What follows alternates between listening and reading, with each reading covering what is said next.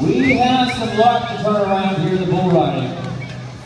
District two, let's get wild when that gate opens. All right.